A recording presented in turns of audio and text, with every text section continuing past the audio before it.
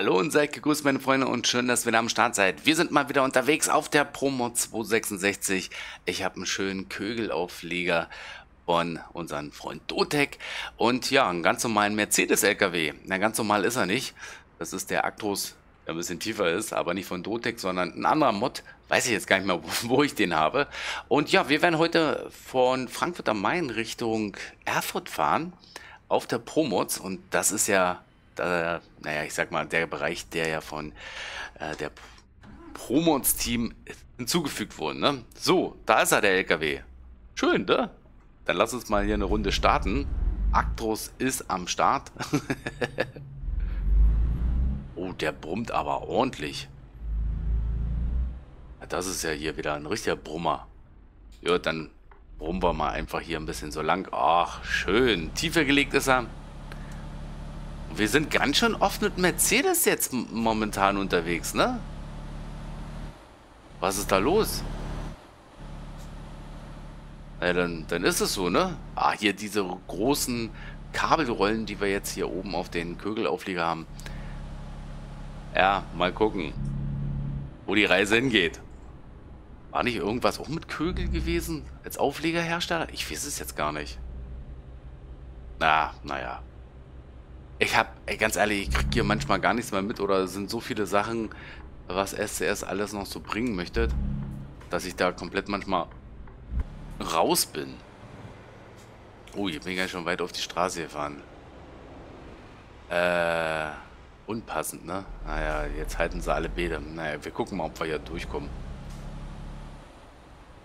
Jetzt sollten wir ein bisschen auf den Bürgersteig fahren. Ja, danke dafür, dass du angehalten hast, mein Freund. Ja, gut. Schön auf dem Bordstand rum.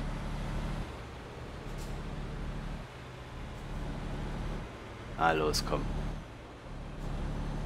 Ach. Der ist aber laut, ey. Jeder LKW, jeder Mod ist irgendwie ein bisschen anders. Ja, was willst du machen, ne? Ah, ihr wollt ja auch ein bisschen Motor, Motor hören. Oh, das ist richtig komisch. Wir sind auf der Promo, trotzdem fahren wir hier auf der Standardkarte, ne? Aber ich habe ja schon in Rostock gesehen, dass die Jungs und Mädels von Promons da noch ihre Ideen noch mit einflossen oder einfließen lassen haben. Gibt es eigentlich auch so ein Rückvollmod?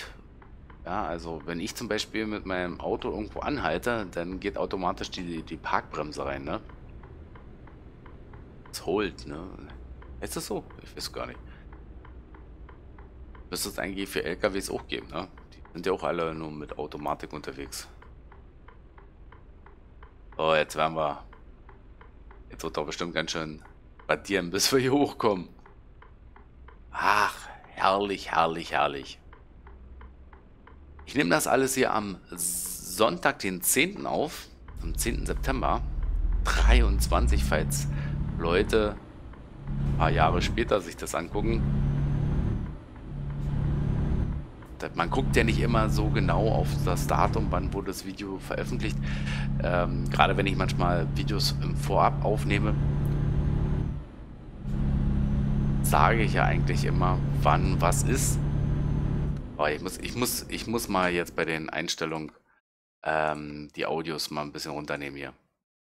Das ist, äh, der Motorsound ist doch ganz schön heftig. Es ist, vielleicht kriegt ihr es gar nicht so mit. Ich hoffe, dass es jetzt ein bisschen ruhiger ist für euch. Ah ja, gucken wir mal. So. Kann ich nämlich nicht in Ruhe quatschen, wenn ich jetzt hier die ganze Zeit immer...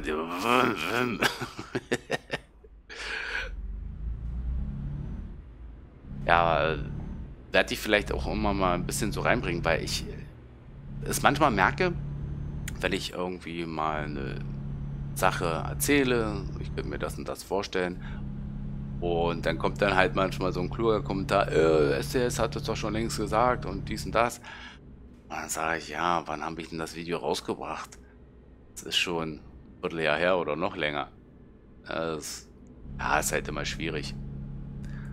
So, wir fahren ja erstmal hier einen Außenbezirk von Frankfurt am Main rum. Das ist wirklich sehr schön gestaltet. Aber was ich jetzt äh, so sehe, dass irgendwie gar nicht so großartig jetzt noch kommt von SDS, also an Infos, wo die Reise hingeht beim nächsten. Na, toll. Jetzt haben wir hier ein Problem. Jetzt stehen wir hier. Und der LKW kommt nicht hier rum. Oh, jetzt staut sich das hier alles. Der jetzt nicht rumkommt. Ah ja, gut. Machen wir einfach mal schnelle Katze. Geht nicht anders. Ich bin so froh, dass ich diesen Fly-Modus hier habe, ey. dass ich hier mal ein bisschen so hin und her fliegen kann. Das hier. BMW, gut. Naja, mal gucken, was dieses Jahr. Die haben ja jetzt auch gesagt, dass äh, gerade in Bezug auf dem DLC äh, Westbalkan ja auch noch zwei italienische Städte hinzufügen. Oder besser gesagt, die gibt es schon, nochmal überarbeiten. Ja, macht natürlich Sinn, dass ich dann von Mittelitalien, also Ancona und ein bisschen südlich von Italien ist ja Bari, dass man da eine Fährstation mit einbindet und dann in dem Zuge auch äh, ja, die Überarbeitung der Stadt nochmal anfasst. Also so hundertprozentige Änderung der Stadt ist es jetzt nicht, ja. Aber es ist schon eine Anpassung auf den Niveau, wo wir uns jetzt mittlerweile befinden von SCS. Muss man ja auch einfach mal sagen.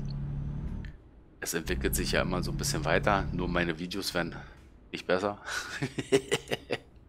da hat sich, glaube ich, über die letzten Jahre nicht viel geändert, ne? wenn man jetzt so mal äh, schaut. Aber ich glaube, das ist so ein bisschen oldschool, ne? was ich jetzt hier mache. So eine LKW-Fahrt-Commentaries.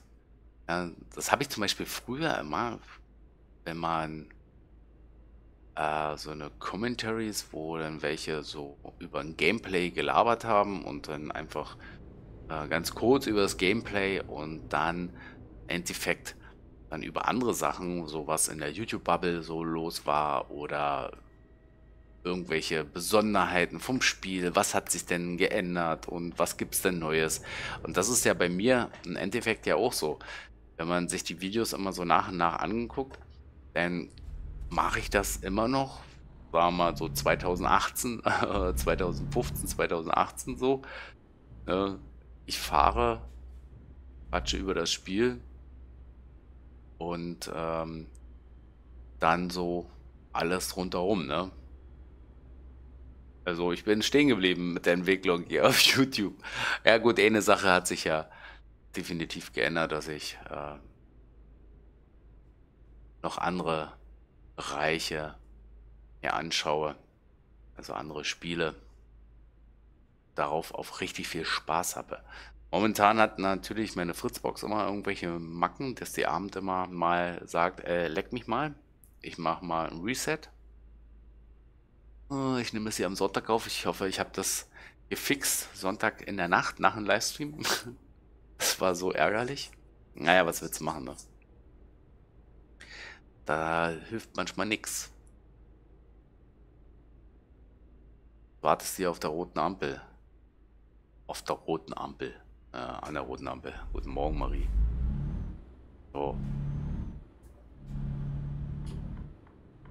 So, dann fahren wir mal hier schön rum.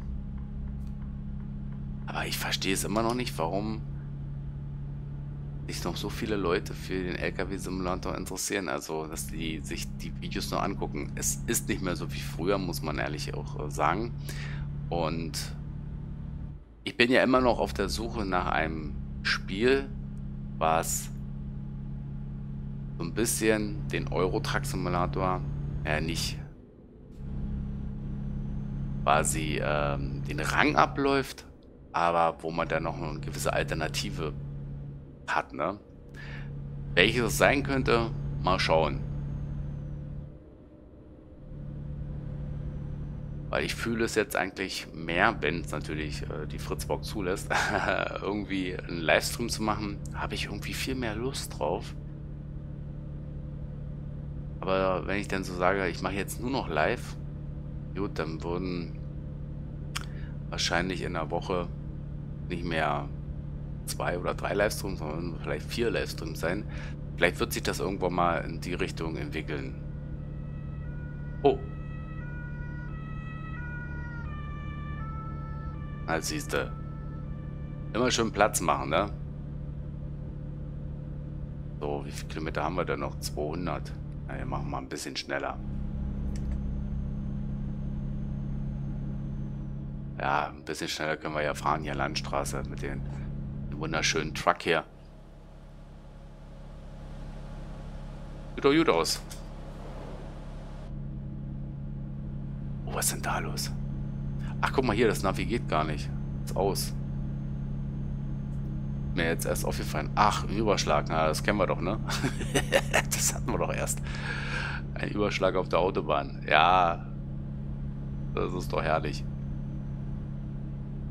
So, jetzt schauen wir, müssen wir jetzt hier erstmal runter und dann geht's auf die Autobahn. Ach, ja, genau. Aber so ganz entspannt, wie ich heute hier fahre, ne? Richtig schön gemütlich.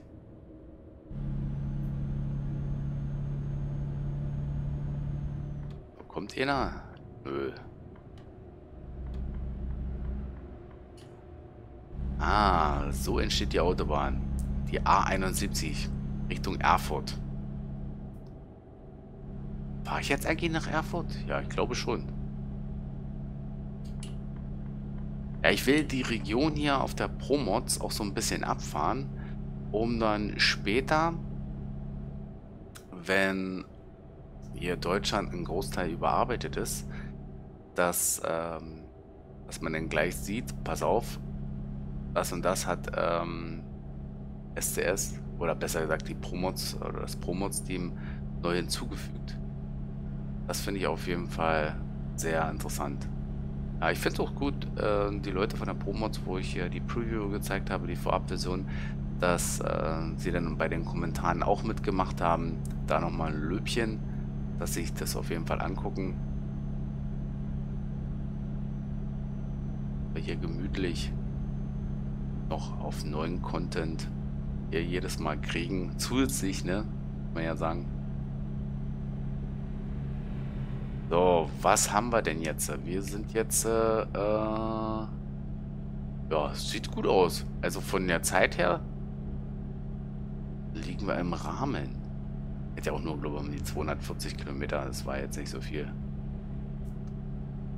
Aber lieber mache ich ein bisschen weniger und dann fahre ich nicht immer wie die Axt im Walde. Ne? Das ist ja auch immer, kriege immer einen Anranzer von euch.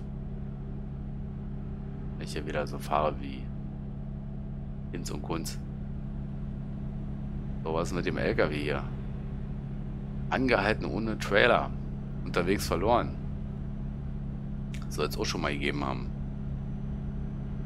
Das muss auch knallen. Fährst los ohne Anhänger. Mit einem Sattelauflieger ist es wahrscheinlich noch ein bisschen schwieriger.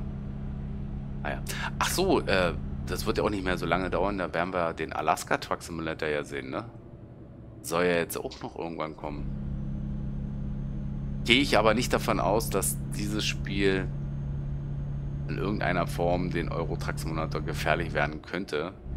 Denn dieses Heavy Dingsbums, hab's mal ausprobiert, äh, ist nicht mein Ding. Ähm, dann Australien Truck Simulator, denke ich, dieses Jahr wird nichts werden. Aber da ist ja noch dieser andere Schwerttransport, was von OTR irgendwie übernommen wurde oder ja, aus der, auf der Basis ist. Ja, ich denke, da werden wir bestimmt den einen oder anderen Livestream wieder machen. Also ein paar Simulationsspiele kommen, aber nicht die großen Knaller im Bereich vom LS oder Eurotruck Simulator oder was weiß ich. Da werden wir wahrscheinlich dieses Jahr eher die zweite Riege von Simulation oder dritte Riege noch sehen. So, ach. Das ist, das, das läuft ja wieder hier. Jetzt ist schon wieder die Autobahn hier gesperrt. Ah, ich... Gucken hier. Das funktioniert so aber nicht.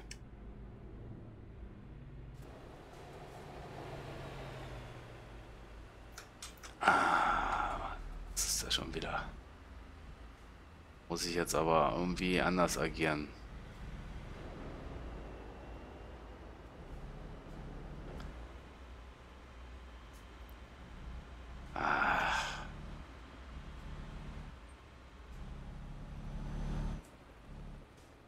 Das wäre ein Hubschrauber, müssten wir hoch und wieder runter, wa?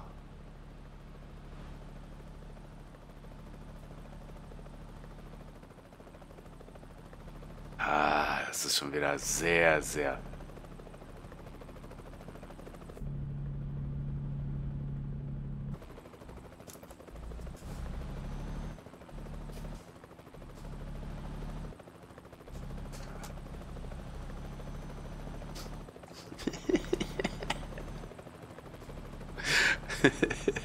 das wird natürlich nicht gemacht, ne? Also, sowas machen wir ja nicht.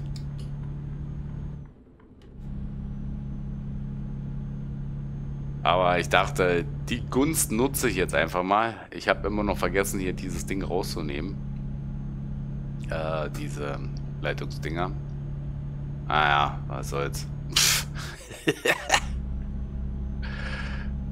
Ach.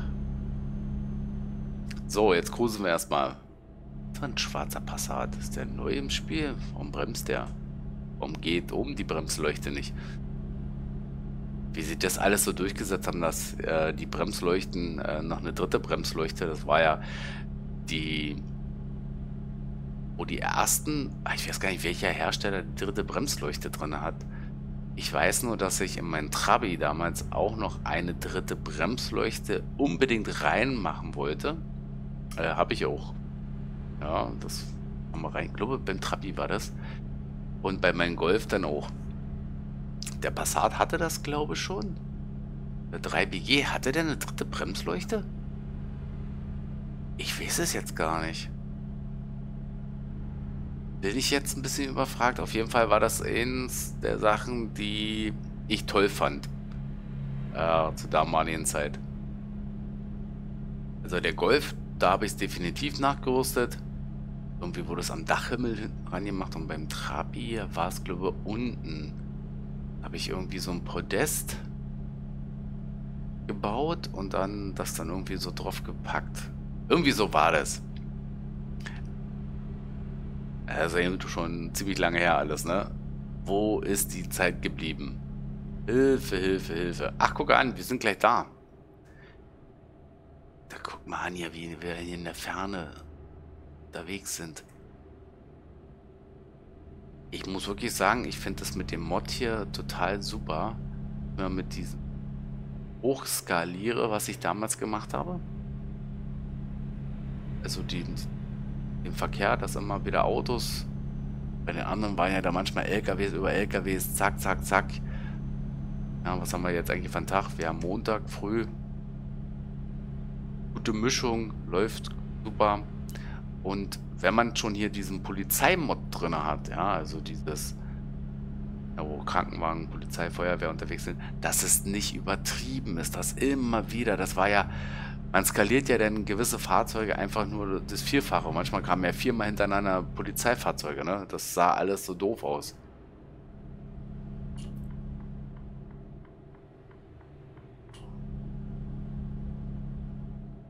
So. Gut, wir fahren jetzt ab Richtung Erfurt. Sieht schön aus, ne?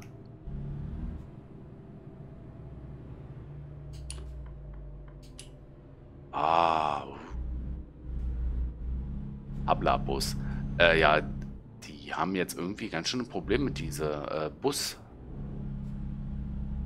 Äh, Unternehmen, ne? Die Flixbus und so. Wegen den 9 Euro, 49 Euro Ticket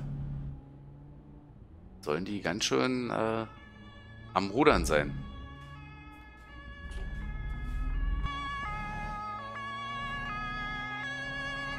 Also läuft ja.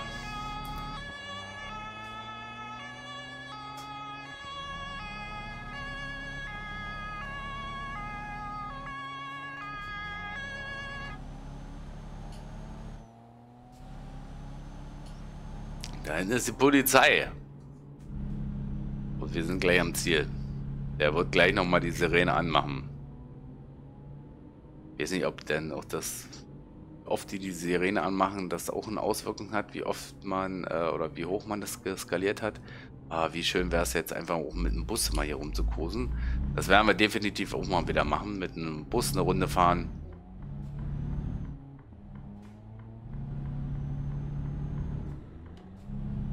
Ja, hält auf jeden Fall eine ganze Weile aus, die, die Sirene. Und ich glaube, ab Oktober werde ich dann den Herbstmod machen wieder, ne? Ach, der ist ja hinter mir.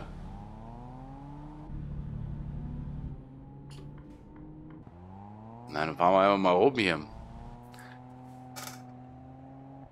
Ich hoffe nicht, dass er hier hinterher will. Nee, gut. Puh, Glück gehabt. War doch eine schöne, entspannte Tour. Nicht so schnell gefahren sehr ruhig.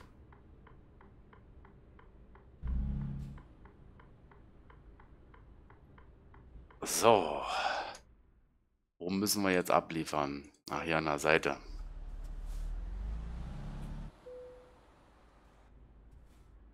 Oh.